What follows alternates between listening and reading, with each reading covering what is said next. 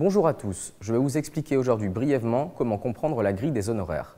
Si vous étudiez une formation en langue espagnole, par exemple Physiothérapia, une fois accepté, vous aurez une semaine pour réaliser le paiement initial qui comprend la réservation de place et le pack hospitality.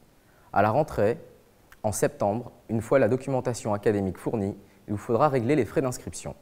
La somme restante, correspondant aux frais académiques, sera distribuée en mensualité et dépendra du nombre de crédits que l'étudiant va suivre. Si vous suivez une formation internationale, c'est-à-dire dont la langue d'enseignement est différente de l'espagnol, par exemple médecine vétérinaire ou dentistry, une fois accepté, vous aurez une semaine pour réaliser le paiement initial qui comprend la réservation de place, l'inscription et le pack hospitality.